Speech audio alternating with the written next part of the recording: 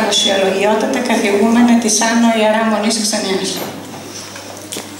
Κυρία Αντιπεριφερειάρχης, κύριε Δήμαρχε, κύριε Δημοτική Σύμβουλη, Περιφερειακή Σύμβουλη, Αντιδήμαρχοι, ελπίζουμε μην ξεχνώ κανέναν,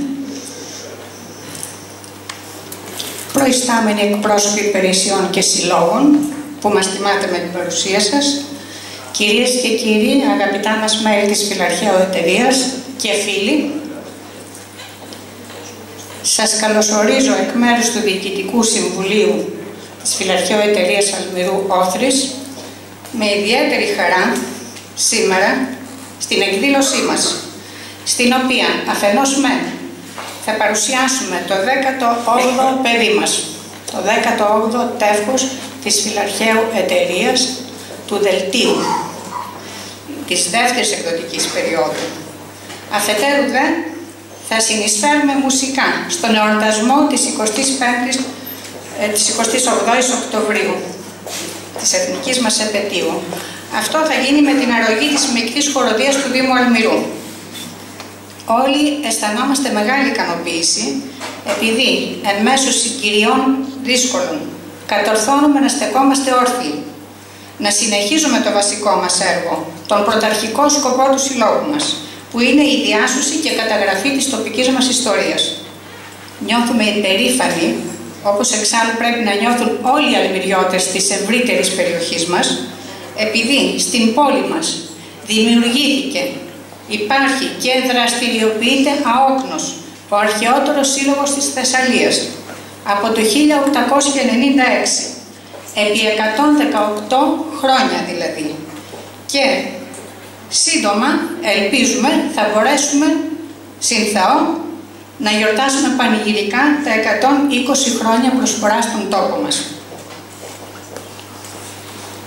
Πριν να συνεχίσουμε, προχωρήσουμε στην παρουσίαση του δελτίου μας, θα ήθελα να καλέσω για ένα σύντομο χαιρετισμό τον α, καθηγούμενο της Άνω Ιεράς Μονής Ξενιάς, αν θέλετε να μας πείτε ένα χαιρετισμό. Εξοχοτάτη κυρία Αντιπεριφερειάρχα, εντιμότατα κύριε Δήμαρχε, εντιμότατοι άρχοντες, κύριε Πρόεδρε και εκλεκτά μέλη του Διοικητικού Συμβουλίου της Φιλαρχαίου Εταιρείας, κυρίες και κύριοι. Με ιδιαίτερη χαρά και εγώ απευθύνω από του βήματος αυτού ένα χαιρετισμό για την παρουσίαση του 18ου τεύχους του Δελτίου της Φιλαρχαίου Εταιρείας θεωρούμε ταπεινώς πολύ σημαντική και άξια επένων την πνευματική προσπάθεια όλων των μελών της Φιλαρχαίου Εταιρείας να μεταλαμβαδεύσουν το φως της γνώσεως στις νέες γενιές κάτω από τον κόπο της έρευνας και την δίψα της προσφοράς. Γι' αυτό τούτη τη στιγμή συγχαίρω όλους από καρδίας που εκομπίασαν για την έκδοση του τεύχους αυτού και εύχομαι εσωψύχως να απολαύσουμε όλοι τους εύχημους καρπούς του δελτίου διότι κάθε φορά που λαμβάνουμε στα χέρια μας το νέο τεύχος του δελτίου διαπιστώνουμε ότι είναι σύμφωνο με την γνώμη του Αποστόλου Παύλου που λέει στους Ρωμαίους «Μεταμορφούστε τη ανακαινήση του νοός ημών», δηλαδή να μεταμορφωνόμαστε με την ανακαίνιση του Πνεύματός Σου. Μεγάλη είναι πνευματική προσφορά της Φιλαρχαίου Εταιρείας και προσδοκούμε με την ίδια ζέση να προσφέρει για πολλά πολλά χρόνια. Σας ευχαριστώ. Θα καλέσω τον Δήμαρχο, τον κύριο Σερίδη, ο οποίος από την πρώτη ημέρα της θητείας του, μαζί με όλο το Δημοτικό Συμβούλιο, βρέθηκε δίπλα μας και μας στηρίζει με δυναμικό, θα έλεγα, τρόπο, ε, προσπαθεί να κατανοήσει τα προβλήματά μας, είναι πρόθυμος να ε, βοηθήσει σε πολλές εκκρεμότητες που είχαμε όλα αυτά τα χρόνια και ελπίζουμε κύριε Δήμαρχε, σας ευχόμαστε καλή θητεία εμείς επισήμως ε, σήμερα στην εκδήλωσή μας και ελπίζουμε για το καλό αυτού του τόπου όλα αυτά που έχετε φιλοδοξίες για να γίνουν για τον Αλμυρό, να γίνουν για το καλό του τόπου αυτού. Ένα χαιρετισμό θέλουμε και από εσάς. Σεβασμιότατε, καθηγούμενοι της Ιεράς Μονής, κυρίες, κυρία και κύριε Αντιπεριφερειάρχη, Δημοτική Σύμβουλη, πρώην Δήμαρχη Ελπυρού, κυρία Βουλευτή. Θα ήθελα να ευχαριστήσω τον Πρόεδρο και τα μέλη του Διοικητικού Συμβουλίου της Φυλάκιου Εταιρείας Όθρης. Η παρουσία μου εδώ σηματοδοτεί την υποστήριξη αλλά και τη συνεργασία μας. Εξάλλου αυτό αποδεικνύεται από την πρώτη μου συνάντηση, την οποία έκανα σαν νέος δήμαρχος στο Δημαρχείο με τη φυλάκια εταιρεία. Δεν θα μπορούσε να γίνει κι αλλιώς, αφού επρόκειται για μια εταιρεία που τα δελτία της ανελειπώς εκδίδει κάθε χρόνο και έχει κατορθώσει να κάνει τον Αλμυρό παγκοσμίως γνωστό.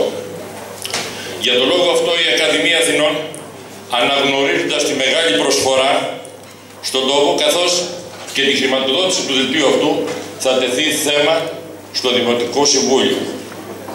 Επίσης, η συνεργασία με το Δήμο θα τυπώσουμε ένα ξεχωριστό δερματόδοτο βιβλίο, το οποίο θα είναι εμφανισιακά άριστο και στο περιεχόμενο και θα αποτελεί ένα κόσμο και θα είναι αντικείμενο επίδοσης στον κάθε σημαντικό επισκέπτη. Από την Ακαδημία Αθηνών απένιμε το βραβείο στις 20 Δεκεμβρίου του περασμένου έτους και θέλω λοιπόν να σας συγχαρώ για το σημαντικό αυτό έργο το οποίο έχετε προσφέρει με πλήθος εκδόσεων μέχρι σήμερα. Δελτία με θέματα τοπικού, αρχαιολογικού, ιστορικού και λαογραφικού περιεχομένου.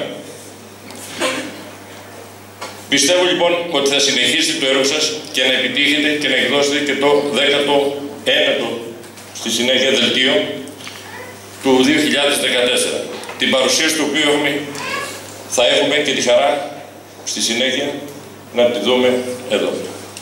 Σήμερα οπωσδήποτε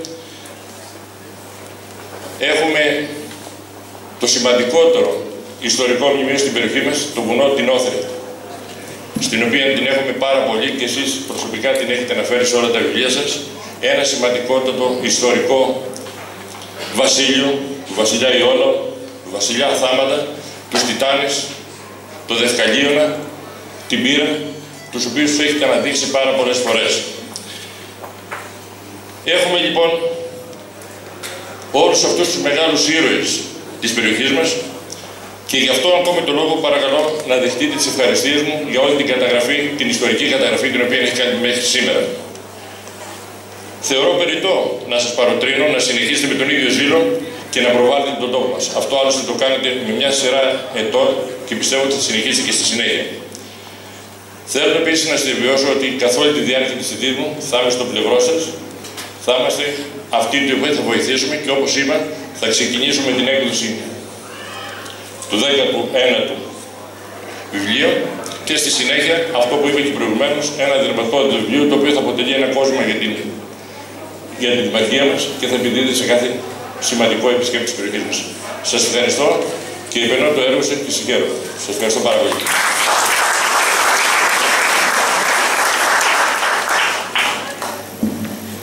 Ευχαριστούμε κύριε Δήμαρχε και είμαστε σίγουροι ότι θα είστε στο πλευρό μας. Ένας άνθρωπος φιλίστορο και με ευαισθησίες δεν είναι δυνατόν να μην σταθεί δίπλα μας.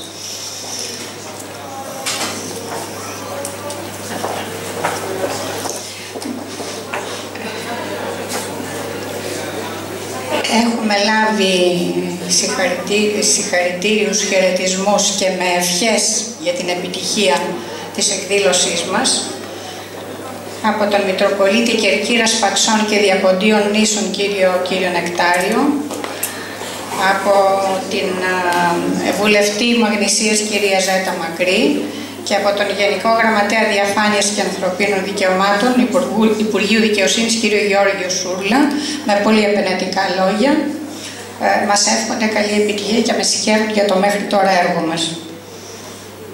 Τώρα θα έρθουμε στο κύριο μέρος της ε, σημερινής μας εκδήλωσης. Γελίζει το. Όπως ε, ανέφερα και προηγουμένως, συνεχίζοντας το έργο μας και έχοντας πλήρη συνέστηση της τεράστιας ευθύνης που μας δημιούργησε και η πρόσφατη βράβευσή μας από την Ακαδημία Αθηνών, σήμερα έχουμε τη χαρά να σας παρουσιάσουμε το 18ο δελτίο του 2014, που φέτος καταφέραμε να ολοκληρώσουμε όπως το είδατε όλοι σας, νωρίτερα από ό,τι τα προηγούμενα χρόνια. Ε, και τονίζω ακόμη μια φορά πως είναι αυτή η μοναδική, σοβαρή, επιστημονική, εκδοτική προσπάθεια που γίνεται στον τόπο μας και γι' αυτό αξίζει να την αγκαλιάζουμε όλοι. Γι' αυτό το συγκεκριμένο τεύχος, εγώ δεν έχω να πω τίποτα άλλο, θα αφήσω αυτή τη μεγάλη ευθύνη σε δύο ικανά μέλη του, του Διοικητικού μας Συμβουλίου.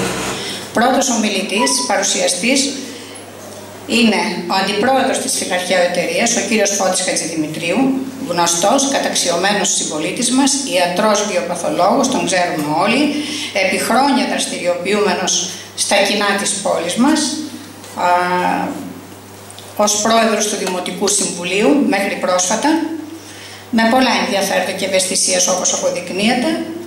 Κύριε Χατζηδημητρίου, ο λόγος σε εσάς. Ευχαριστώ πολύ για τα καλά σας λόγια. Φίλες και φίλοι, καλησπέρα σας. Σας ευχαριστώ για τη σημερινή παρουσία σας. Ένα τεύχος το 18ο με προοπτική το 20ο. Στην προηγούμενη ε, συνάντησή μας, ο πρόεδρος της Φιλαρχαίου μας είπε ότι όταν ξεκίνησε για τη δεύτερη περίοδο η Φιλάρχιος, ο σκοπός ήταν να περάσουμε τα οκτώ τεύχη τα πρώτα. Ήδη είμαστε στο 18ο και βαδίζουμε προς το 20ο, το οποίο θα είναι και εορταστικό.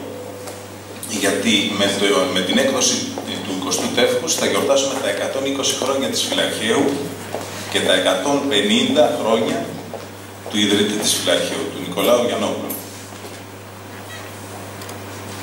Λοιπόν, το Διοικητικό Συμβούλιο της Φυλαρχαίου Εταιρείας Αλμυρού, ακολουθώντας πιστά τη γραμμή που χάραξε εδώ και 20 χρόνια, παραδίδει στη δημοσιότητα το 18ο τεύχος του δελτίου της, το τεύχος του 2014 με θέματα που αναφέρονται όπως πάντα στην τοπική ιστορία της ευρύτερης περιοχής του Αλμυρού. Περίοδος ε, Β, τεύχος 18, Αλμυρός 2014. Όπως και κάθε τεύχος, η Συντακτική Επιτροπή ε, υπεύθυνη το Διοικητικό Συμβούλιο, το οποίο αποτελείται από τον Βίκτορα τον Κοντονάσιο, τον Φώτη τον Χατζηδημητρίου, τον Γιώργο τον Λασκαρίδη, την Κωνσταντίνα τη Βουλέτα, τη Χρυσούλα την Κοντογεωργάκη, τον Γιώργο τον Τζολάκη και την Ελένη τη Δημάκου. Ακόμα μια φορά, επιμελητής της έκδοσης παραμένει πιστός ο πρόεδρος μας, ο Βίκτορας ο Κοντονάτσιος. Όπως έχετε στα χέρια σας, το δελτίο, κοσμούν δύο πολύ ωραίες εικόνες, δύο φωτογραφίες. Η εικόνα του εμπροστόφιλου δείχνει τον αμυντικό τουρκικό στρατόνα του Αλμυρού, που ήταν χτισμένος στη δεξιά όχθη του ποταμού Ξηριά, όπως διατηρούνταν κατά το έτος 1912. Ο τουρκικός αυτός στρατώνας είχε χτιστεί από τους Γερμανούς μηχανικούς κατόπιν εντολής της Τουρκίας για να χρησιμεύσει για την άμυνα των, της χώρας της Τουρκίας μετά την οριστικοποίηση των συνόρων των ελληνοτουρκικών συνόρων του 1832. Και η εικόνα του οπισθόφιλου παρμένει από το αρχείο του ιδρυτή της φυλαρχείου του Νικολάου Γιαννόπουλου δείχνει μπροστά τους ένοπλους Έλληνες στρατιώτες που είχαν οριστεί για τη φύλαξη των εχμαλώτων και πίσω τους Τούρκους εχμαλώτους του πολέμου.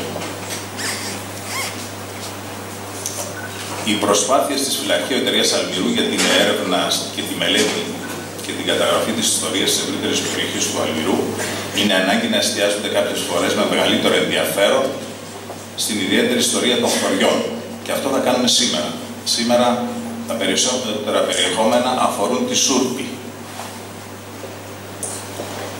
Έτσι παρουσιάζεται για μια άλλη φορά το, ε, το ζήτημα της λεγόμενης μετανάστευσης των Σουρπιωτών στην Οθωμανική Επικράτεια. Αυτό θα σας ενημερώσει ο πρόεδρος, ο οποίος και υπογράφει το άρθρο. Δύο άλλα άρθρα αναφέρονται στο Δημοτικό Σχολείο του ίδιου χωριού κατά το έτος 1847 και εδώ θέλω να σταθώ λιγάκι γιατί ε, ψάχνοντας τα αρχεία των χωριών ανακαλύψαμε ένα θησαυρό. Ξεκινήσαμε κάποιες διαδικασίες σαν Δημοτική Αρχή, το γνωρίζει και ο σημερινός Δήμαρχος και είναι σύμφωνος να, να μην χαθούν τα αρχεία, τα αρχεία αυτά που βρήκαμε, γιατί πραγματικά είναι ένας θησαυρός που θα μας βοηθήσει για την σύνταξη και άλλων άρθρων. Ε, εκτός από το σχολείο, δύο άλλα άρθρα αναφέρονται για τον Σουρπιώτη στρατηγό τον Αθανάσιο Φράγκο και για τη Σούρπη στους Βαλκανικούς πολέμους του 1912-13. Παρουσιάζονται έτσι λοιπόν συνολικά 7 σχετικές μελέτες για τη Σούρπη, χωρίς βέβαια να εγκαταλείπεται η προσπάθεια για τη συνέχεια της έρευνας της ιστορίας της. Σε προσεχή εντεύχη, το ενδιαφέρον της φυλακίου εταιρείας θα στραφεί με την ίδια προσοχή και ένταση και στα άλλα χωριά της περιοχής μας, τα οποία παρουσιάζουν σημαντικά θέματα για έρευνα και μελέτη. Ξεκινάμε λοιπόν από τα περιεχόμενα του τεύχους.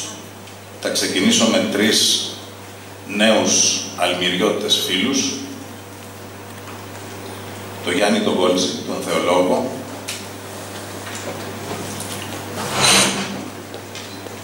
που αρθρογραφεί για τη μνήμη του Μητροπολίτη Πολιανής και Κυρκυσίου Απόστολου Παπακοσταντίνου, του μόνου επισκόπου που γεννήθηκε στον Αλμυρό και καταγόταν από αυτόν, τουλάχιστον τον 20ο αιώνα. Αυτό μας αναφέρει ο φίλος ο Γιάννης, αιωνία αυτή η μνήμη.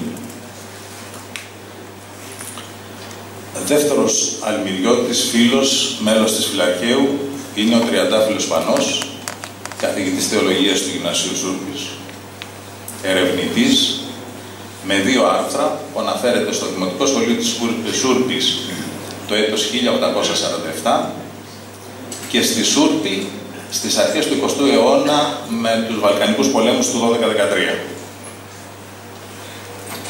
Τριαντάφελε, ευχαριστούμε και σε προτρέπουμε για συνέχεια της μελέτης.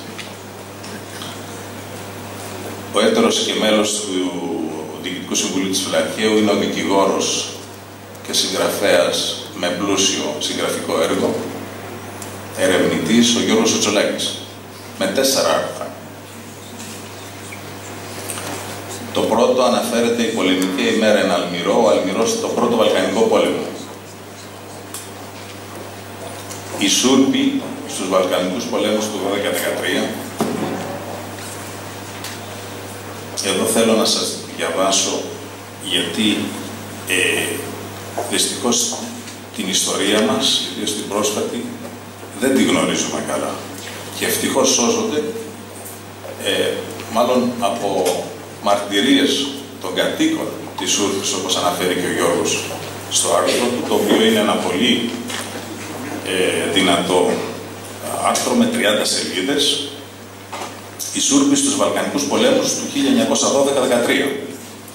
Έλκοντας την καταγωγή μου κατά το 1 τέταρτο από τη Σούρπη, δεδομένου ότι ο παππούς μου, ο Γιώργος Σολάκης, γεννήθηκε και μεγάλωσε στο χωριό αυτό της Νοτιοδυτικής Μαγνησίας και εστιάζοντας το ερευνητικό του ενδιαφέρον στο γεγονός ότι ένας από τους αδελφούς του, ο Δημήτρης Σολάκης, περιλαμβάνεται στον κατάλογο των πεσόντων Σουρπιωτών στις μάχες των Βαλκανικών πολέμων. Αποβηρώμαι και να διερευνήσω ιστορικά τη μάλλον άγνωστη μέχρι σήμερα σελίδα της ιστορίας του συγκεκριμένου χωριού που αναφέρεται στους πολέμους του 12-13. Επειδή καμιά ειδικότερη ή γενικότερη αναφορά στην υπάρχουσα μέχρι σήμερα βιβλιογραφία τοπική και εθνική δεν εντοπίζεται όσον αφορά τη συμμετοχή των στρατευμένων επίστρατων και εφέδρων του χωριού στις στρατιωτικές επιχειρήσεις των πολέμων αυτών, χρειάστηκε να αναζητήσω και να ανατρέξω σε πρωτογενεί πηγές, μαρτυρίες δημοσιεύματα εφημερίδων και οικογενειακά αρχεία, συγκεντρώνοντας πλούσια και αρκετά ενδιαφέροντα στοιχεία τα οποία συγκροτούν το σύνολο της καταγραφής που ακολουθεί. Έτσι το 2009 παρουσίασε την πρώτη περιληπτική αναφορά των στοιχείων που είχαμε μέχρι τότε συγκεντρώσει, αναζητώντας σχετικά με το θέμα αυτό δημοσιεύματα στον τύπο της εποχής. Η εργασία μου δεν περιορίζεται στο καθαρά στρατιωτικό πολεμικό κομμάτι, καθώς θεώρησα σκόπιμο να περιλάβω σε αυτήν διάφορα ενδιαφέροντα στοιχεία και λεπτομέρειες που είχα την τύχη να εντοπίσω και που για πρώτη φορά έρχονται στο φως ε, γύρω από τη ζωή του χωριού στην παραγωγική πολιτιστική δραστηριότητα και επαγγελματική πραγματοποιείται παράλληλα απόπειρα να παρουσιαστεί η γενικότερη επίχυση του πολέμου σε τοπικό επίπεδο. Στο πρώτο μέρος αναφέρει τον πρώτο Βαλκανικό πόλεμο, τον Αύγουστο του 1912, οι Σούρποι στις παραμονές του πολέμου, γενικά για τον πρώτο Βαλκανικό πόλεμο, τη βαριχμονιά και τις ασθένειες και τους νεκρούς Σουρπιώτες, μεταξύ των δύο πολέμων εορτασμός του Αγίου Κωνσταντίνου στη Σούρπη, οι περιγραφές των κατοίκων της Σούρπης. Στο δεύτερο μέρος, ο δεύτερος Βαλκανικός πόλεμος, Ιούλιος 1913, αναγγελίες θανάτων.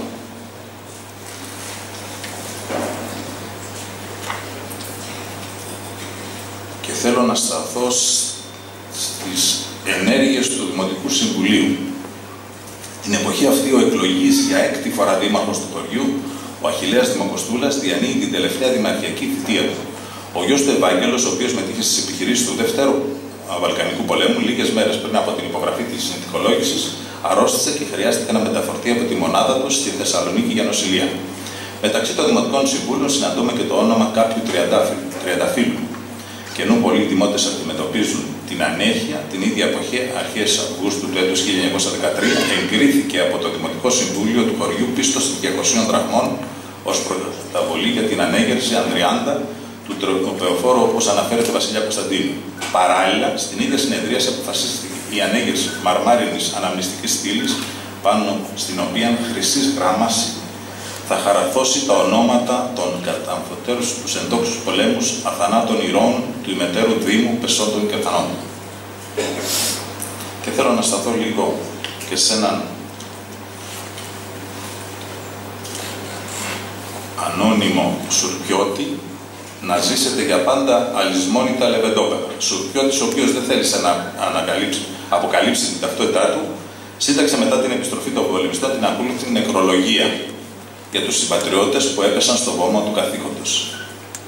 Ευλογημένες τρεις φορές, ευλογημένες να είστε ψυχές αθάνατες, που δεν ψηφίσατε ούτε σπαθί ούτε βόλη.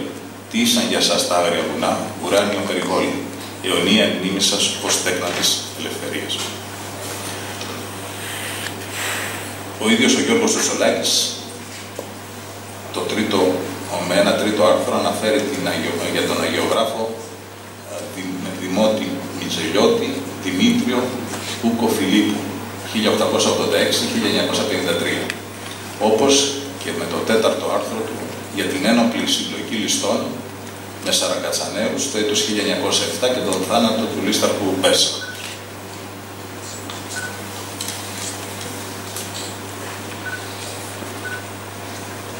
Ένα πολύ ενδιαφέρον θέμα με σημαντικές προοπτικές περαιτέρω ερευνών δίνεται για πρώτη φορά στη δημοσιότητα μέσα από τις σελίδες του τεύχους αυτού.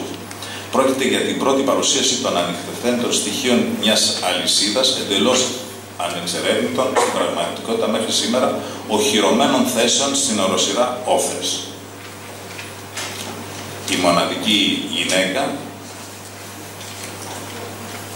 από τους 15 ε, συγγραφείς η Δέσποινα Ευσταθή, ο αρχαιολόγος της ΙΓ εφορίας αρχαιοτήτων κλασικών και προϊστορικών, αναφέρεται στις αρχαίες οχυρωμένες θέσεις της οροσυράς Όφριος, στην ευρύτερη περιοχή του Αλμυρού. Είναι μια παρθενική μελέτη, η οποία εκτός για περαιτέρω έρευνα υποχρεώνει όλους, αλλά ιδιαίτερως τους τοπικούς παράγοντες, τη φροντίδα για την εξασφάλιση των μέσων τη συνέχιση των ανασκαφών, αφού η έρευνα του σχετικού θέματος, αν και μόλις βρίσκεται στις αρχές της, δείχνει ολοφάνερα ότι θα φέρει στο φως σημαντικά και διαφωτιστικά στοιχεία για την τοπική μας ιστορία. Ο καθηγητής γλωσσολόγος ιστορικός Γιώργος Δελόπουλος μας ορθογραφεί σχετικά με τη λέξη Ζερέλ και πολλά άλλα συγγενικά τοπονύμια. Ο έτερος καθηγητής του Αριστοτέλειου Πανεπιστημίου Θεσσαλονίκης, Αθανάσιος Καραθανάσης, με δύο άρθρα, που αναφέρεται σχετικά με τον στρατηγό Αθανάσιο Φράγκη. Το πρώτο αναφέρει την πολεμική δράση του με, τις, με τους αγώνες οπισθοχώρησης και οι ατομικές σημειώσεις και η πολεμική του δράση στη Μικρά Ασία.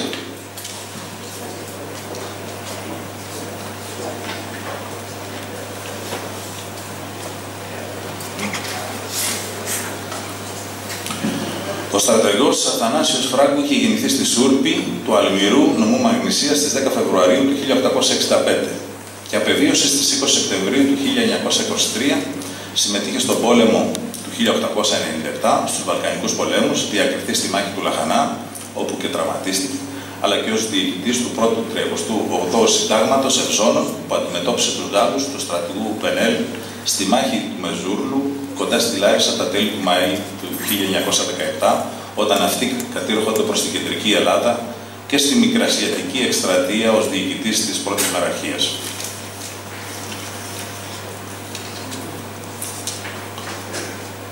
Και το δεύτερο άρθρο του Αθανάσιου Καραθανάση, είπαμε, είναι η, ναι, αποκλειστικά τα δύο είναι για τον στρατηγό Φράγκο.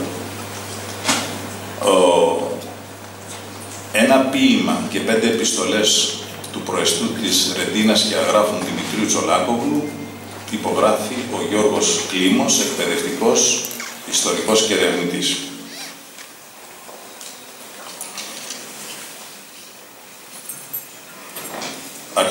Αρχαιολόγος του Αρχαιολογικού Ινστιτούτου Θεσσαλικών Σπουδών, ο Παναγιώτης Σιρούκης, μας φέρνει στο φως τέσσερις επιστολές, πρωτότυπες χειρόγραφες των φυλάκων των αρχαιοτήτων της Νέας Αγχιάλου, των Γόνων και Παλμυρού, προς τον έφορο των αρχαιοτήτων Θεσσαλίας. Είναι λίγο επίκαιρο, γι' αυτό θα σας θα σταθώ λίγο. Μια και αύριο γιορτάζουμε την 28η Οκτωβρίου.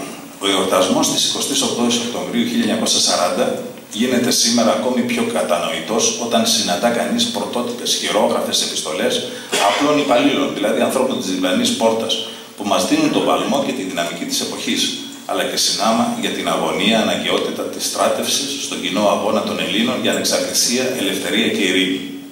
Η χρονιά του 1940 σηματοδοτεί την απαρχή ενός κόσμου άπλιστου, άκαρτου, γεμάτου κτηνοδίες και πολέμους κάθε είδους.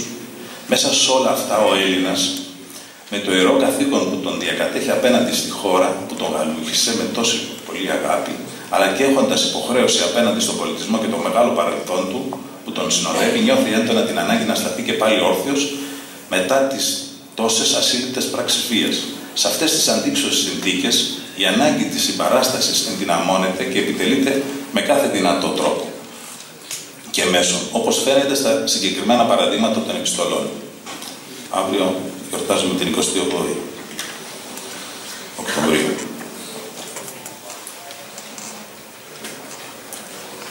Και τελ, προτελευταίος αρθρογράφος είναι ο πρωτοπρεσβύτερος συγγραφέας, δόκτωρας θεολογίας του Αριστοτελείου Πανεπιστημίου Θεσσαλονίκης, Ιωάννης Τυριγγέλας, ιστορικά στοιχεία περί την Μητρόπολη του Μητροπολιτικού Ναού του Αγίου Νικολάου του Βόλου. Τελευταίο, άρθρα, τα τελευταία άρθρα επιμελήθηκε όπως πάντα ο πρόεδρος της Φιλαρχείου Εταιρείας, ο Βίκτορας Οκοντουνάξιος. Έχω ρητή εντολή να αναφερθώ σαν, ως συνταξιούχο εκπαιδευτικό και τίποτα άλλο. Εγώ δεν μπορώ να αντέξω από το να ενημερώσω ότι, Πρόεδρε, ε, με τα άρθρα και με τα συγγράμματα που υπάρχουν στα συρτάρια του γραφείου σου και ιδίως στο κομπιούτερ τώρα που μάθαμε να το χειριζόμαστε και να αποθηκεύουμε πλούσιο υλικό, νομίζω ότι όχι μόνο 18 τέχιδα θα γεννήσει η φυλάκιος και 38 ίσως παραπάνω.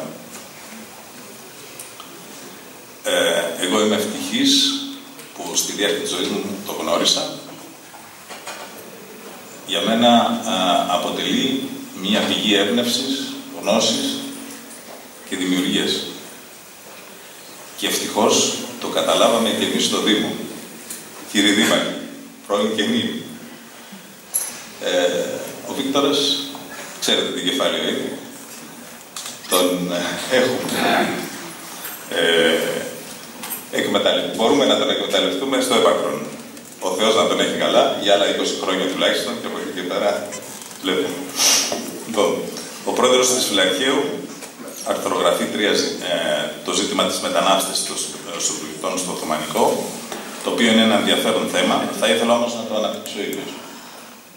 Έτσι δεν είναι πρόεδρε; Γιατί νομίζω ότι θα μας διαφωτίσει αρκετά σε ένα θέμα που δεν έχει. Ε, θα δούμε. Δεν έχει Όπως και συμπληρώνει το άρθρο του φίλου Τριαντάφυλλου, οι εικόνες του Δημοτικού Σχολείου Σούρτης κατά το έτος 1846-47 και ο Αλμυριώτης αγωνιστής του 1821, Ιωάννης Τριανταφύλλου ή Καλογερογιάννης. Εδώ θα σταθώ λίγο γιατί είναι και συνέχιση της μετανάστευσης του προηγούμενου άρθρου, γιατί η Σούρτη και ο Αλμυρός μετά την, το 1832 ε, είχαν μια ιδιομορφία. Ε, το ελληνικό κράτος έφτανε μέχρι τα σύνορα του Σαλαμπριά. Δηλαδή περιλάμβανε την Σούρπη και άφηνε τον Αλμυρό στην τουρκική επικράτεια.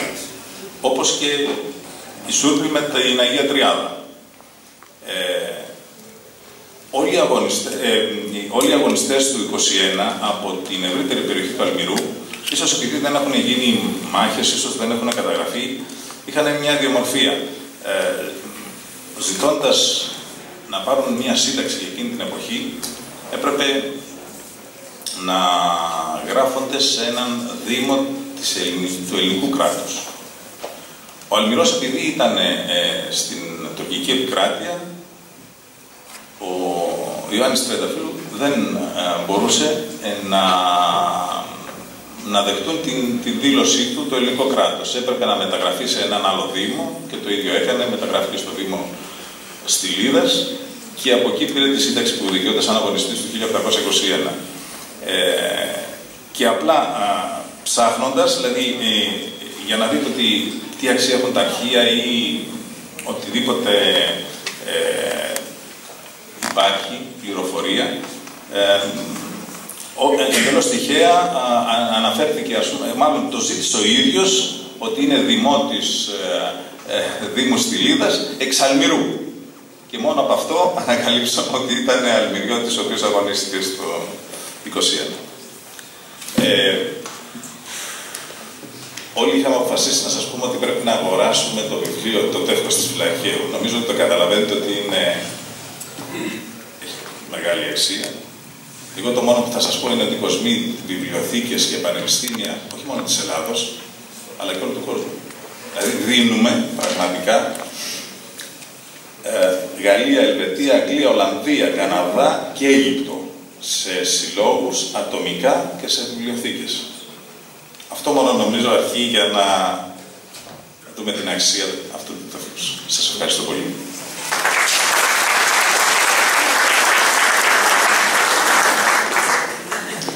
Ευχαριστούμε κύριε. Είσατε έτσι αναλυτικά και ουσιαστικά για το περιεχόμενο, τα περιεχόμενα του τεύχους. Τον λόγο τώρα θα δώσω στον πρόεδρό μας, τον κύριο Κοντονάτσιο, που θεωρώ ότι είναι η μεγαλύτερη σύγχρονη ιστορική φυσιογνωμία στον τόπο μας. Εκπαιδευτικός, γνωστός σε όλους μας, έχει διατελέσει πάρεδρος του Παιδαγωγικού Ινστιτούτου, σχολικός σύμβουλος, συγγραφέας πολυγραφότατος και ιστορικός βέβαια. Είναι μελτής όλων των εκδόσεων, όπως ανέφερε και ο κ. Χατζηδημητρίου, όχι μόνο του δελτίου, αλλά και των πρακτικών των συνεδρίων μας, των τεσσάρων συνεδρίων έως τώρα. Έργο, επίπονο, χρονοβόρο και υπεύθυνο, το να κάνει κανείς την επιμέλεια ενός βιβλίου και μάλιστα τέτοιου βιβλίου ιστορικού με πολλά άρθρα, με πολλούς συγγραφείς. Ως εκ τούτου είναι και ο πλέον αρμόδιος να μας ενημερώσει για το νέο τεύχος. Σε εσάς ο λόγος κύριε Πρόεδρε.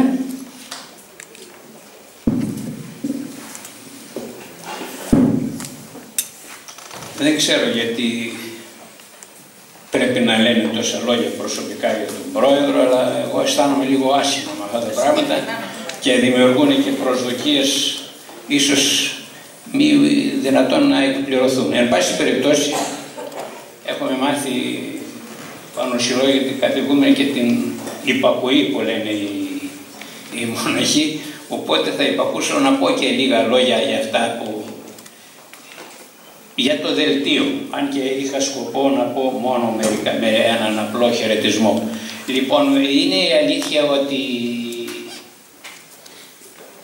ας το πούμε μόνοι μας να καυκόμαστε, προσφέρουμε υπηρεσία πραγματικά το, και το λέω αυτό επειδή ανα, ψάχνοντας τα αρχεία βρίσκω ότι παρουσιάζουμε σημαντικά και μας έλειπαν. Αυτό που είπε για έναν αγωνιστή, ξέρετε ο Αλμερός έλαβε μέρος με πολλούς αλμυριώτες, με πολλούς αλμυριώτες το λέω, σε όλες τις μάχες. Είχε όμως του 1821, μιλώ πάντοτε, μία ομάδα 400 αλμυριωτών, 400 ομαδικά αλμυριωτών δραστηριοποιούνταν παντού. Επειδή όμως και πολλοί άλλοι, επειδή όμως όταν χαράχτηκαν τα σύνορα και ήταν κάπου στην κεφάλωση πιο πέρα, εκεί πέρα στο τα σύνορα και ήμενε στην uh, τουρκοκρατούμενη, εδώ οι Τούρκοι φάνηκαν πολύ σκληροί μετά όταν χαράχθηκαν τα σύνορα. Έτσι πολλοί αρμεριώτες, αγωνιστές, αναγκάστηκαν και έμεναν στην υπόλοιπη Ελλάδα. Δεν ήρθανε εδώ πέρα. Και όχι μόνο δεν ήρθανε, αλλά δεν δηλώνανε. Ε, όλοι οι αγωνιστές επέρανε τα αριστεία στη λεγόμενη, ε, στην Επανάσταση και συντάξεις αλλά και πολεμικούς ε, σταυρούς ή παράσημα με μετάλλια, χρυσά, σιδερένια, ασημένια. Οι Αλμυριώτες δεν μπορούσαν να πάρουν, δεν είχαν να πάρουν πιστοποιητικό από το, από το Δήμο Αλμερού, δεν είχαν. Έπρεπε να γραφτούν σε άλλους δήμους και γράφτηκαν σε άλλους δήμους. Εκεί χάθηκε η καταγωγή τους. Έτσι προσωπικά ψάχνοντας να βρούμε αυτούς τους Αλμυριώτες δυσκολευόμαστε. Δεν υπάρχουν. Παρουσιάζεται άλλος έλαβε μέρος, βρίσκουμε βέβαια κάποιοι, έλαβε μέρος στα Δερβενάκια. Πολλοί, στη μάχη των Δερβενάκιων. Στην πολιορκία του Μεσολογίου. Πολλοί ενεργειώτε. Από τον Πλάτανο ιδιαίτερα. Ο σημειοφόρος του Καραϊσκάκη ήταν πλατανιώτης. Και πολλοί αλλά τους κοκοτούς που βλέπω εδώ τον πρόεδρο. Και πάρα πολλοί. Αυτό είναι δύσκολο και είναι χρέος της φιλαρχαίου εταιρείας το αισθανόμαστε να τους ανακαλύψουμε. Τυχαίος, τυχαίος αυτός ο αγωνιστής έγραψε ενώ απευθυνόταν στο Δήμο, στον Δήμαρχο της Στυλίδας, των Φαλάρων τότε λεγόταν, ότι εξαλμυρού. Οι δε και πολλοί άλλοι έτυχε να γράφουν εξαλμυρού του Οθωμανικού. Δηλαδή το θεωρούσαν λίγο ε, περιφρονητικό να, να βραβεύσουμε κάποιον ο οποίος ακόμα η πατρίδα του είναι σκλαβωμένη. Χρέος λοιπόν, αυτά εκτός χειρογράφου, απλά επειδή με προκάλεσε ο κύριος Αντιπρόεδρος, να τους βρούμε αυτούς τους ανθρώπους.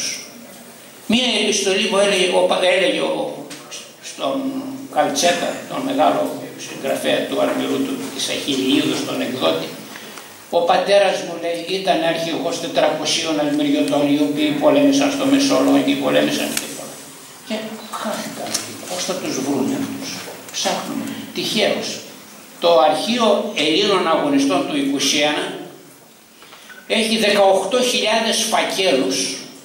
Ο κάθε φάκελος περιέχει περί τα 500 με 600 ονόματα τα οποία είναι και χειρόγραφα εκείνης της εποχής οι αιτήσεις με κακογράμματα και διαβάσματα να έχεις κάνει και τέσσερις εγχειρήσεις. Καταράκτη, άντε να βρεις 18.600 για να ψάξεις να βρεις. Μην τυχόν και κανένας από αυτούς γράφει κάπου ότι είμαι και αλτεριώτης. Ή κάποιοι βεβαίωναν ο πρόεδρος της κοινότητας των Θηβών λέει ο εξαρμυρού καταγόμενος τάδε ήταν, έλαβε μέρος στους αγωνιστές. Αυτά εν παρενθέσει για αυτούς τους ε, αγωνιστές.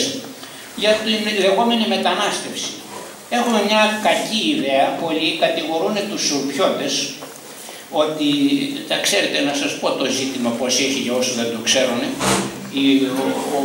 τα σύνορα περάσαν ανάμεσα Σούρπη και Αγία Τριάδα. Η Σούρπη ήταν Ελλάδα, η Αγία Τριάδα ήταν Τουρκία. Τα κτήματα, όλη η περιουσία των Σουρπιωτών ήταν στην Τουρκία. Τα σπίτια τους μόνο ήταν στην Ελλάδα. Στην αρχή οι Τούρκοι, πέσα τους μπουνταλάδες, τους άφηναν και περνούσαν εκεί πέρα και πήγαιναν τα καλλιεργούσαν και γύρισαν. Όταν όμως άρχισαν να πονηρεύονται και ιδίως όταν άρχισε να περνάει η ιδέα ότι σε λίγο θα ελευθερωθεί και η Θεσσαλία, πονηρεύτηκαν και θέλησαν σε μία μελλοντική διεθνή εξέταση να ειδούν ότι οι περισσότεροι κάτοικοι της Αγίας Τριάδος του Αλμερού είναι Οθωμανοί. Ζητούσαν λοιπόν από τους Σουρπιώτες να μεταφέρουν, αν θέλουν να καλλιεργούν τα χτήματά τους για να έχουν τα δικά τους, να μεταναστεύσουν, μετανάστευση το λέγανε από τη Σούρπη στην Αγία Τριάδα. Να μεταναστεύσουν, να δηλώσουν Οθωμανική υπηκότητα και να μπορούν να έχουν. Έτσι πονηρά σκεπτόμενοι σε μια μελλοντική εξέταση όταν θα γινόταν μια διεθνής επιτροπή στην οποία θα είχε ευνοϊκή μεταχείριση του και δεν υπάρχει αμφιβολία, το ξέρετε αυτά τα πράγματα, θα βρίσκανε ποιοι να, να προσαρτιστούν στην Ελλάδα, αυτοί των οποίων οι περισσότεροι είναι Οθωμανοί επίκουοι. Και κατηγόρησαν λοιπόν τους Ορκιώτες πολύ, ανιστόρητοι, ότι επέρασαν και δήλωσαν. Δεν επέρασαν ούτε δήλωσαν. Παίζαν ένα παιχνίδι πολύ πονηρό, πολύ πονηρό περνούσε ένας κάτοικος ο οποίος ήταν εξουσιοδοτημένος για 5-6 οικογένειες να του δώσουμε τα κτήματα.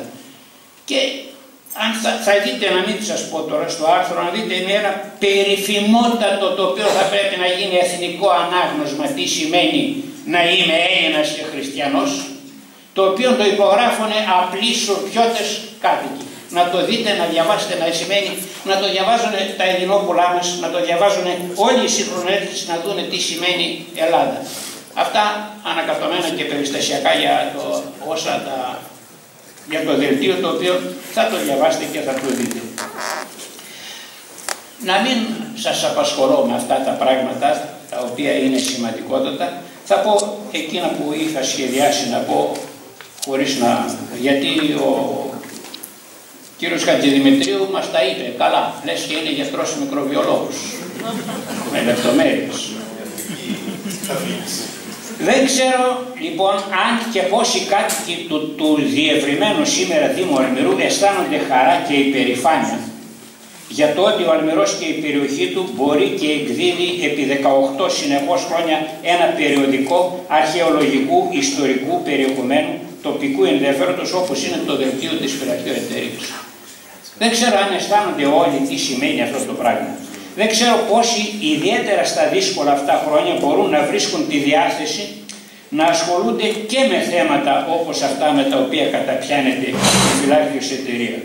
Αλλά σεβασμιότατε, πανοσιολόγιοτατε Άγιε καθηγούμενε του μοναστηριού της μεγάλης μας και προαιώνιας μάνας της Παναγίας Κισιώτισσας, αξιότιμοι κύριε Δήμαρχοι, εντιμότατοι κύριοι δημοτικοί σύμβουλοι, κύριοι προϊστάμενοι δημοσίων υπηρεσιών, κύριοι εκπρόσωποι τοπικών συλλόγων και οργανώσεων και αγαπητές κυρίες και κύριοι, κάτοικοι του ευλογημένου αυτού τόπου, είναι γεγονός ότι πολλοί είναι εκείνοι και έχω επιστολές και πολλές, πολλά έγγραφα που σε άλλα μέρη θαυμάζουν αυτή μας την προσπάθεια και μας μακαρίζουν περιμένοντας και παροτρύνοντας κατοίκους του τόπου τους να κάνουν έναν παρόμοιο σύλλογο.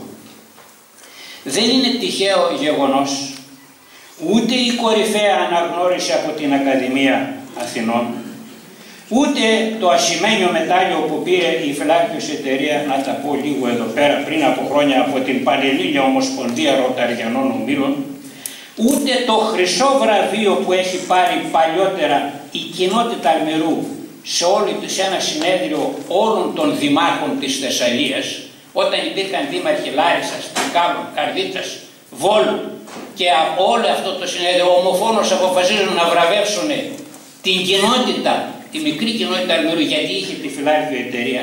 Δεν είναι τυχαία αυτά τα γεγονότα. Ούτε η εύθυμοσυνία που έχουμε πάρει από το Οικομενικό Πατριαρχείο, θα τα λέω γιατί σε τέτοια εκδήλωση πρέπει να τα λέμε, ούτε η έκφραση επενετικών σχολείων είναι από διεθνή περιοδικά και διεθνείς συλλόγους και εκφράσεις, είναι τυχαία γεγονότα. Πρέπει να τα ξέρουμε αυτά για να μπορούμε και εμείς να καμαρώνουμε. Δεν είναι συνηθισμένο ένα σωματείο τέτοιας ακτινοβολίας να, και να επιβιώνει με τους ίδιους πάντα σκοπούς.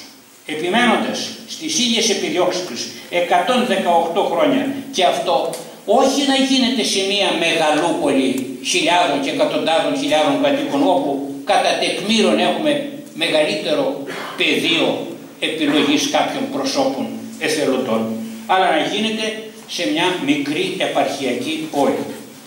Και είναι ο αλμερός μας κύριε Δήμαρχε και εντιμότατη κύριοι Δημοτικοί Σύμβουλοι η μοναδική, το τονίζω, η μοναδική και τονίζω με έμφαση, η μοναδική μία και μόνη σε ολόκληρη την Ελλάδα η οποία έχει αρχαιολογικό μουσείο προσφορά όχι και από το περίσσευμα κάποιου πάμπλου του Ευεργέτη που έκανε κάποια χρήματα στην Αίγυπτο ή αλλού, αλλά προσφορά των φτωχών γεωργών του μιας επαρχιακής πόλης.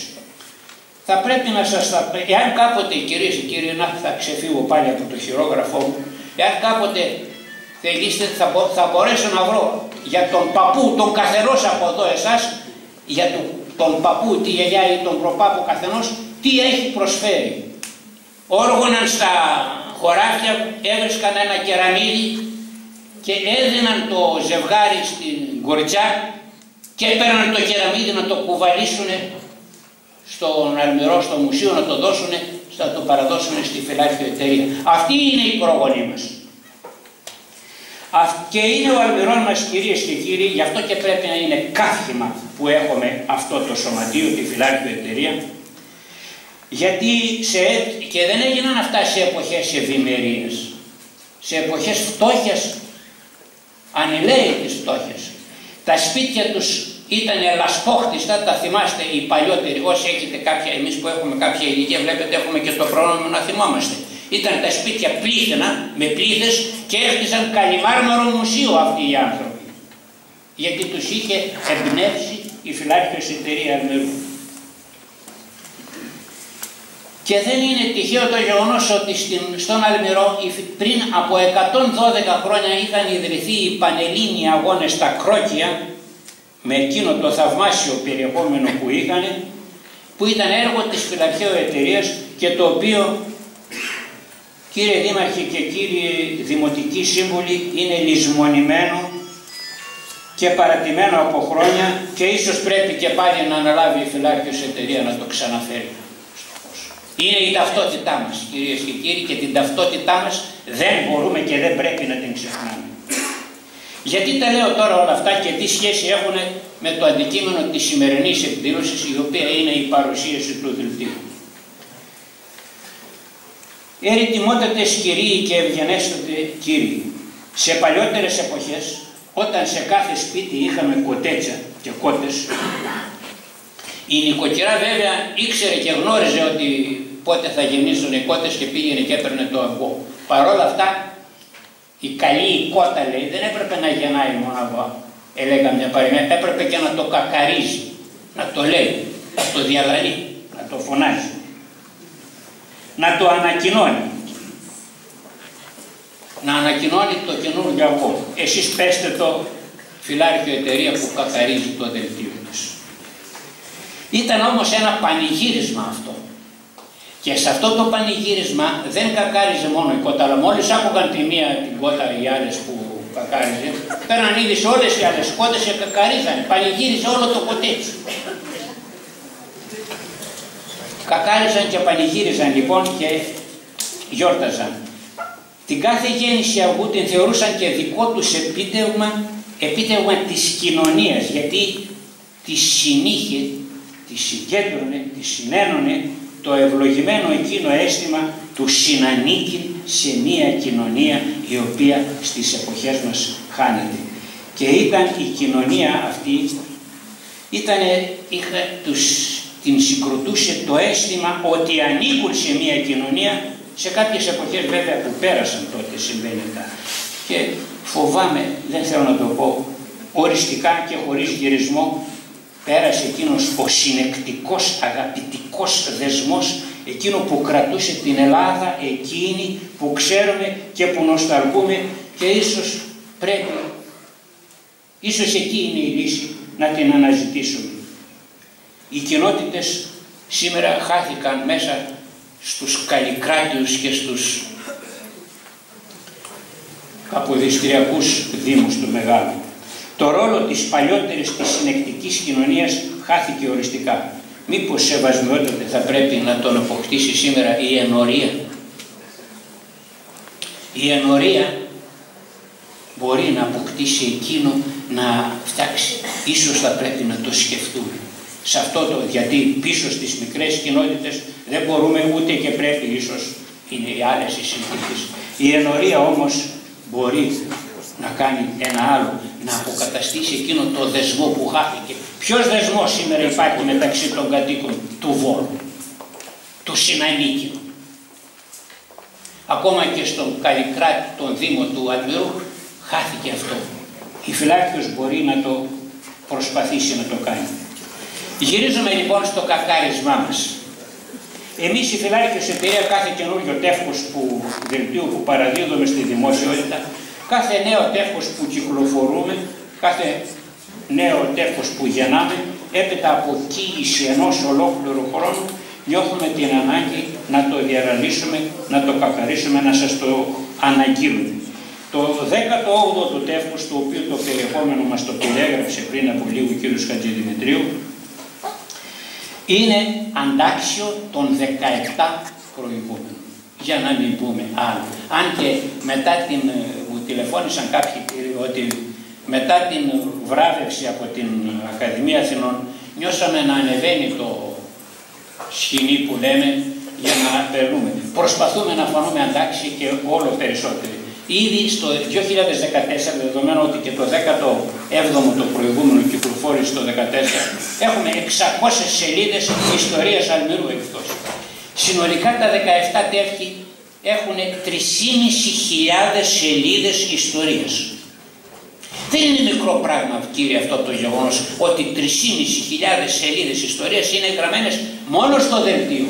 Για να μην βάλουμε τα πρακτικά των συνεδρίων τα οποία κατά κύριο λόγο τα εποπτεύει η φιλάρχιος εταιρεία και φτάνουμε στις 7.000 σελίδες ιστορίας. Πολλοί καθηγητές πανεπιστημίου είπαν ότι ήδη έχουμε συγκεντρώσει υλικό για διδακτορικά και μεταπτυχιακά δελτία πολλά μέσα από αυτό και μόνο. Δεν είναι μικρό το γεγονός αυτό κύριε. Ένας φοιτητής από τα μέρη μας να έχει πηγές στις τοπικές του και αυτό να το προσφέρει η φυλάκιος. Κυρίες και κύριοι, για να τελειώσουμε, γιατί πολλά τα, πολλά τα λόγια είναι φτώχεια, λέει ο λαός μας, είναι ανάγκη να είμαι ειλικρινής και πάντα είμαι ειλικρινής, νιώθω χρέος να σας πω υπεύθυνα, όσο μπορεί η υπευθυνότητα να μου αναγνωρίζει. Μάλλον να επαναλάβω αυτό που επί 18 ολόκληρα χρόνια τώρα επαναλαμβάνω κάθε φορά που παρουσιάζουμε το δελτίο της Φυλακίου Εταιρείας. Το δελτίο μας αυτό κυρίες και κύριοι, υπεύθυνα σας το λέω, είναι ένα πολύτιμο απόκτημα για κάθε κάτοικο της περιοχής μας και όχι μόνο. Η ύπαρξη στις βιβλιοθήκες μας των τευχών του δελτίου της Φυλακίου Εταιρείας είναι ένας, να το ξέρετε, καταθέτεται ανεκτήμητο θησαυρό. Έστω και αν ακόμα δεν μας αφήνουν οι, οι δυνάμεις, οι πνευματικές ή η όρεξη ή η, η διάθεση λόγω των περιστάσεων να το διαβάσουμε. Καταθέστε το και να ξέρετε ότι καταθέτεται ένα θησαυρό. Είναι αποτέλεσμα κουραστικότατων ερευνών για να βγάλουμε το άρθρο για τη Σούρπη ερευνήσαμε εκατοντάδες έγγραφα, ανέκδοτα, χαμένες στα αρχεία, στα γενικά αρχεία του κράτους και είναι μια τεράστια προσφορά. Πολλοί σας είπα εκτός του Αλμυρού μας ζηλεύουν και μας μακαρίζουν και μακαρίζουν την περιοχή μας που έχει να παρουσιάσει ένα δελτίο γιατί το θεωρούν διαμάντι των εκδοτικών προσπαθειών που γίνονται στην Ελλάδα. Λέξεις αλωνών αυτά, όχι δικές μας. Κυρίες και κύριοι, βάλτε στη βιβλιοθήκη σας, σας το λέω γιατί δεν ξέρω κατά πόσο πολλά χρόνια θα, θα, θα το λέω, το δελτίο πάρτε το για τα παιδιά σας, για τα εγγόνια σας, για τους γνωστούς σας, για τους φίλους σας. Αν δεν μπορείτε να τους πρικίσετε με θησαυρούς και περιουσίες, τους δίνετε όμως με το δελτίο ένα σημαντικό στοιχείο. Η γνώση της ιστορίας μας είναι η πηγή μας, κύριε. Είναι η πηγή, η σωτηρία μας είναι να γνωρίζουμε ποιοι είμαστε. Γιατί με την παγκοσμιοποίηση πάνε να μας αφομοιώσουν και να αφομοιωθούμε εθελοντικά. Λες και ντρεπόμαστε να πούμε ότι είμαστε από τον Αλμυρό ή είμαστε, ή είμαστε αυτοί που είμαστε. Κινδυνεύουμε να χαθούμε. Την ταυτότητά μας θα την βρούμε στην ιστορία μας. Και την ιστορία καταγράφει το δελτίο. Πάρτε λοιπόν το δελτίο για τα... Εγώ προσωπικά, να πω και κάτι, δημιουργώ πέντε σειρές. Δύο για τα παιδιά μου και τρεις για τα εγγόνια μου. Το ξέρω ότι μπορεί να μου πούν παππού και παπατή μας τα θέλεις αυτά, εγώ όμως θα τους πω εκείνο που είπε ο Απόστολος Πέτρος. Αργύριον και χρυσίων ουκ υπάρχει. Ο δε έχω τούτο συμβεί. Και η φυλάκη εταιρεία ο έχει τούτο σας δίνει. Ευχαριστώ πάρα πολύ.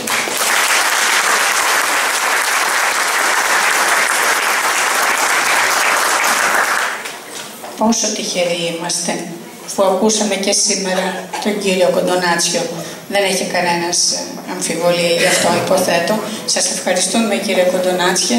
Ελπίζουμε, ευχόμαστε να είστε πάντα καλά και να σας ακούμε πολλές φορές έτσι να μας φωτίζετε με τις πλούσιες γνώσεις σας και με το γνωστό σας με το λόγο. Ε, εδώ έχει τελειώσει το πρώτο μέρος της εκδήλωσής μας.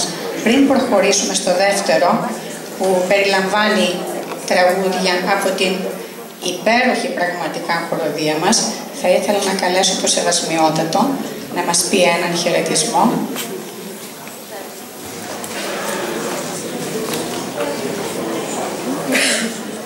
Εγώ κύριε Δήμαρχε μπορώ να ανέβω στο...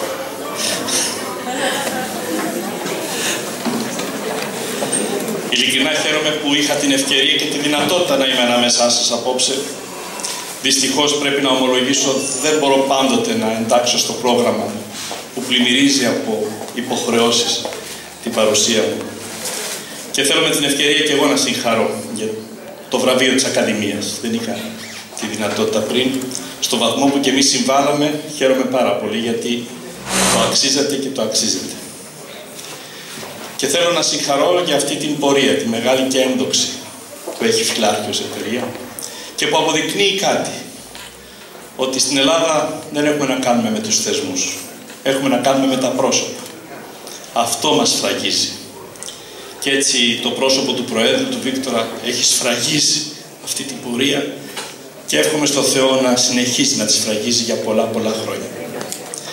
Θέλω να συγχαρώ και για αυτό το δελτίο και να συμβάλλω κι εγώ λίγο έτσι με ένα περιστατικό. Μια και αναφέρεστε στο πρόσωπο του αιμνίστου Μητροπολίτου Κιλκυσίου Αποστόλου του από τον Αλμυρό. Αγαπούσε τον Αλμυρό και όλη τη Μητρόπολη. Το λέγω πρώτη φορά δημόσια αυτό το περιστατικό που με αφορά και ίσως μας αφορά στο βαθμό που επέδρασε στο να είμαι μαζί σας και ανάμεσά σας 16 χρόνια τώρα. Όταν επρόκειτο να γίνει η εκλογή του νέου Αρχιεπισκόπου, ο γέροντάς μου, Μητροπολίτης τότε Πυραιός Καλίνικος, προσέγγισε τον Απόστολο που γνωριζόντουσαν από λαϊκή και τον παρόδρυνε στην ψηφοφορία να ψηφίσει τον Δημητριάδος Χριστόδουλο για Αρχιεπίσκοπο. Και τότε του είπε ο Απόστολος, άκουσε να δεις, θα σου κάνω το χαρτίρι, αλλά με μια υπόσχεση, ότι θα στείλεις τον Ιγνάτιο μετά στο Βόλο. Ο γέροντας Καλίνικος τότε γέρασε, ήταν εντελώς έξω από οποιαδήποτε προοπτική αυτό το γεγονός. Του είπε καλά καλά εσύ κάνε αυτό που πρέπει και έχει ο Θεός. Δεν ξέρω αν ήταν προφητικός ο λόγος του, ξέρω όμως ότι μου το επαναλάμβανε όποτε με συναντούσε. Εγώ πρώτα είπα για σένα. Ήταν πράγματι απλός και χαίρομαι που με πολύ συντομία είναι γραμμένο το άρθρο και τον νομίζω δίνει τις πληροφορίες που πρέπει. Συμφωνώ με τον κύριο Κοντονάτσι ότι η ενορία είναι ένας πυρήνας, Πρόεδρε, και ευχαριστώ για την παρότριση και θα περιμένω περαιτέρω προτάσεις. Όντως πλέον δεν μπορούμε να επιστρέψουμε στα παλιά σχήματα σε ό,τι αφορά τους Δήμους και τις κοινότητες, μπορούμε όμως να κρατήσουμε τον πυρήνα μας που είναι η ενορία. Αυτό όμως προϋποθέτει ιερέα, προϋποθέτει να έχουμε συνείδηση της κοινή πίστεως, αυτή εξάλλου που μας κρατάει ενωμένους και ίσως και στον εορτασμό αύριο θα πρέπει να θυμηθούμε ότι όταν οι Έλληνες έδωσαν τη μεγάλη μάχη, την έδωσαν ενωμένη. Στη συνέχεια ο διχασμός μας αφαίρεσε τη δυνατότητα να πάρουμε αυτά που μας ανήκανε, αφού ήμασταν στους νικητές. Ο Θεός να μην δώσει πάλι τέτοιους διχασμούς, γιατί οι συνθήκες και πάλι διαμορφώνονται μέσα σε μια παγκοσμιοποίηση που είπε ο Πρόεδρος και που όντως είναι ανησυχητική, αλλά ταυτόχρονα και προβλήματα παγκόσμια που πλέον μας εγγίζουν και μας προσεγγίζουν. Και εδώ θα πρέπει με την ταυτότητά μας να απαντήσουμε. Και για να γίνω και λίγο πιο πρακτικός, χωρίς να έχω καμία γνώση αν και κατά πόσον ισχύει, μπορώ όμως να κάνω μία πρόταση. Επειδή υπάρχει αυτό το τεράστιο αρχιακό υλικό, δεν μιλάω για τις πρόσφατες εκδόσεις που ακόμη μπορούν όντως να εσοδεύουν στην φυλάρχιο και έτσι πρέπει να γίνεται. Εκεί που μπορούμε εμείς να συμβάλλουμε από την πλευρά της Μητροπόλεως είναι στην ψηφιοποίηση πλέον αυτού του αρχείου. Αγαπητέ μου πρόεδρε, δεν αρκεί να αφήσεις πλέον τα τεύχη για τα παιδιά και τα εγγόνια. Πρέπει να φροντίσεις και για τα δυσέγγωνα. Τα δυσέγγωνα στο ψηφιακό χώρο θα αναζητήσουν όλο αυτό το υλικό. Πέραν το ότι γίνεται κοινό κτήμα σε όλο τον κόσμο. Οποιοδήποτε θελήσει να ερευνήσει σχετικά θέματα. Εμείς αυτό μπορούμε να το διαπονήσουμε. Έχουμε τις προϋποθέσεις, έχουμε πλέον τον χώρο που χρειάζεται για το διαδίκτυο, εάν και εφόσον η Φυλάρχιος αποφασίσει τα πιο παλαιά της τεύχη ή το υλικό της να ψηφιοποιηθεί, φυσικά μπορούμε να αναλάβουμε αυτή την ευθύνη και θα είναι στη διάθεσή σας. Αλλά κι αν και ο χώρος προσφερθεί, αυτό σημαίνει ότι πλέον ο κάθε ερευνητής θα έχει τη δυνατότητα σε όλο τον κόσμο ελεύθερα αυτό το υλικό όντως να είναι για σπουδή και για μελέτη. Θερμά συγχαρητήρια, ο Θεός να σας ευλογεί και να σας αγιάζει. Χρόνια πολλά και ευλογημένα σε όλους.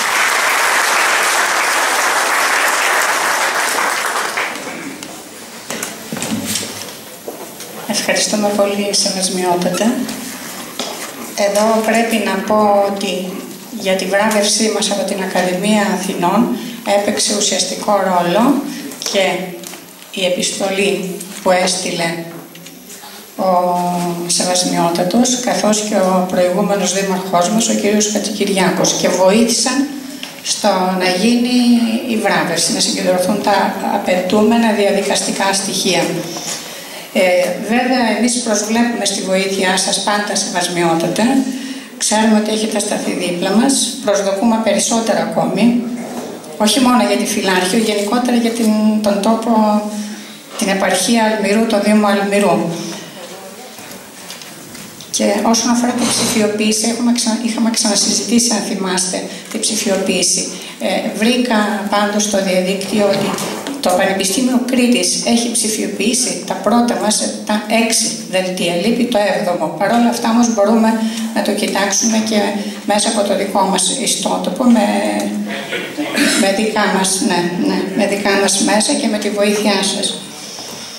Και τώρα θα υποδεχθούμε την μεικτή δημοτική μας χοροδία του Αλμύρου. Παρακαλώ τα μέλη της χοροδίας να λάβουν τις θέσεις τους. Με την υπερ 20 ετή επιτυχημένη της πορεία αποτελεί πλέον σταθμό και θεσμό για την πόλη μας. Με τις πολύ επιτυχημένες παρουσίες και συμμετοχές της τόσο σε διοργανώσεις όσο και σε πανελληνίους διαγωνισμούς έχει αποσπάσει πρώτα και δεύτερα πανελλήνια βραβεία. Έχει πάρει χρυσά μετάλλια και πάντοτε εκπροσωπεί επάξια την πόλη και το Δήμο του Αλμυρού, αποτελώντας έτσι έναν σημαντικό πρεσβευτή του πολιτισμού της περιοχής μας. Τη μεικτή χοροδία Αλμυρού διεύθυναν από το ξεκίνημά της αξιόλογοι μέστροι, όπως ο κύριος Πάντας, ο κύριος Βλάσιμας Τρογιάννης, ο κύριος Γιώργος Διαμαντόπουλος και από την επανασύστασή της από το 2006 έως και σήμερα διευθύνει η διακεκριμένη πολυτάλατη μαέστρος κυρία Μαριάννα Σαμαρτζή, καθηγήτρια μουσικής και πιανίστα με πολλές περγαμηνές. Απόψε, τη συνοδεύουν στο πιάνο και είμαστε πάρα πολύ χαρούμενοι γιατί είμαστε εμείς εκείνοι που προωθούμε τα νέα παιδιά. Δύο νέα παιδιά, δικά μας παιδιά. Πολλά υποσχόμενοι επιστήμονες και καλλιτέχνες. Είναι ο Γιάννης Καμπουρίδης με το κουζούκι του και ο Στέργιος Μπουκουβάλας με την κιθάρα του. Θα έρθουν και τα παιδιά σε λίγο. Αλλά πριν το δία, θα ξεκινήσουμε με ένα ακόμη νεότερο μέλος, ένα χαρισματικό κορίτσι, μαθήτρια του Λυκείου μας, αρίστη μαθήτρια του Δημοτικού μας Οδείου, που επί χρόνια αναδεικνύει μεγάλα ταλέντα στον Αλμυρό. Γι' αυτό κύριε Δήμαρχε πρέπει και κυρία Σταυρατώνη να το φροντίσουμε το Δημοτικό μας Οδείο. Είναι μια κοπέλα με συγκλονιστική φωνή, θα το διαπιστώσετε σε λίγο, που ας κάνω και μια πρόβλεψη. Πιστεύω πως σύντομα θα αντικαταστήσει την αδικοχαμένη, πρόωρα χαμένη Αναστασία μας. Είναι η Μαριαλένα Μελεμέ, η οποία θα ερμηνεύσει ένα τραγούδι που αναφέρεται, θα ξεκινήσουμε ανάποδα, στην Ελλάδα του σήμερα. Την Ελένη, στίχους Μπάβη Κυρόπουλου και μουσική Θάνου Μικρούτσικου. Ζούμε σε ένα κόσμο μαγικό. Με φόντο